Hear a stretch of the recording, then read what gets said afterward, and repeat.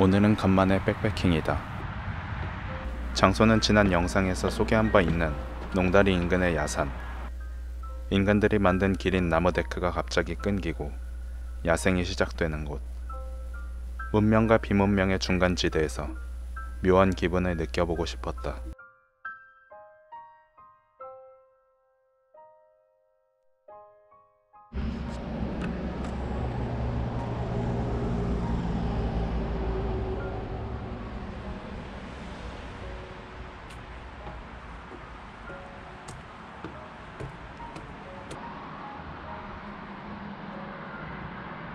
등산로 곳곳에는 머물 수 있는 포인트들이 있다. 무슨 소리지?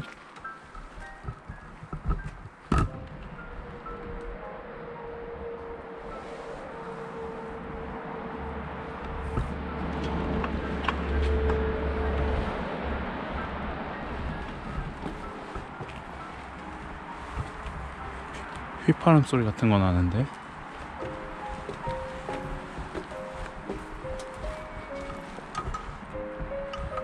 오른쪽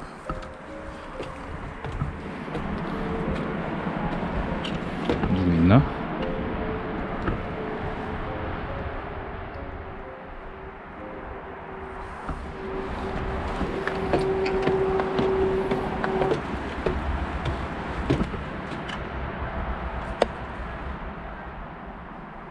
거미줄 있는 거 보면 사람은 안, 안 왔는데 왜 휘파람 소리가 들리지? 새소리인가?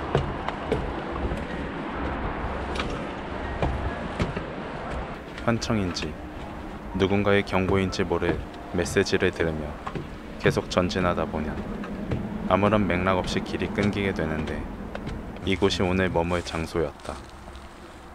장소였었다. 표지판이라도 세워놓던가 참으로 어이없음이 달팽이스럽다고 할 수 있었다.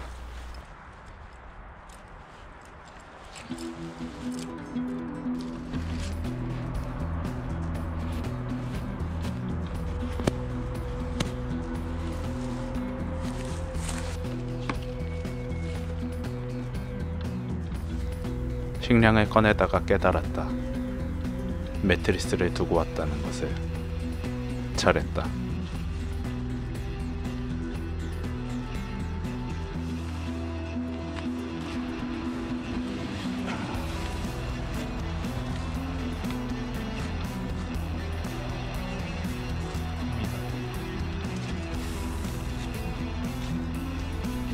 오늘은 백패킹이니만큼 조촐하게 컵라면과 누룽지탕을 준비해 왔다.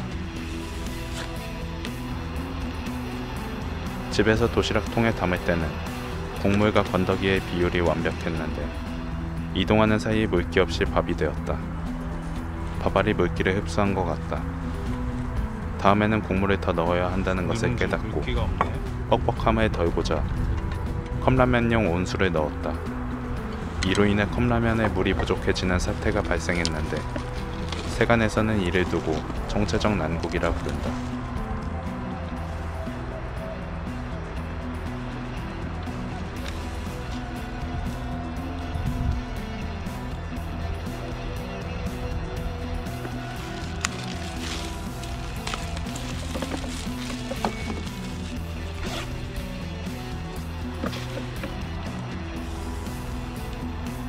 탄탄면은 중국 라면이라 그런지 포크가 들어있다. 근데 중국도 젓가락 문화권 아닌가? 미스테리한 일이었다.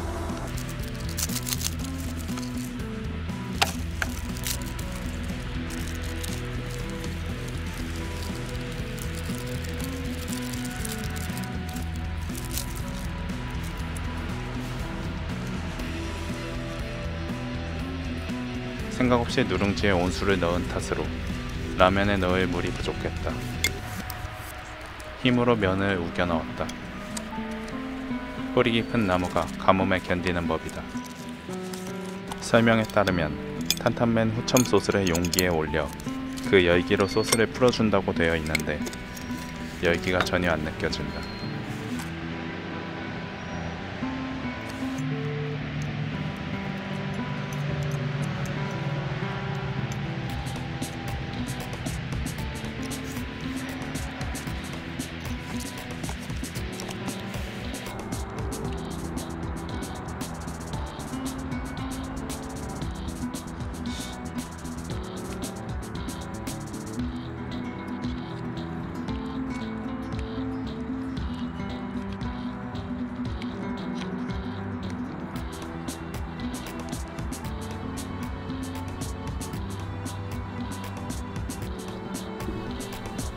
국물이 없어 뻑뻑했던 누룽지도 결국 컵라면에 넣기로 한다.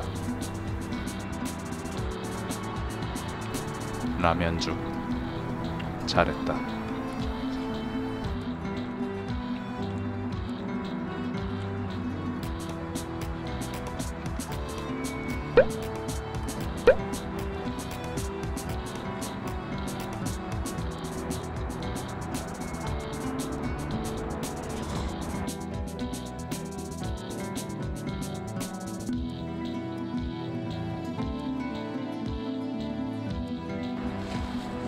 비록 매트리스를 두고 오긴 했지만 괜찮다. 오늘 처음 와본 박제지만 맡겨둔 매트가 있었다.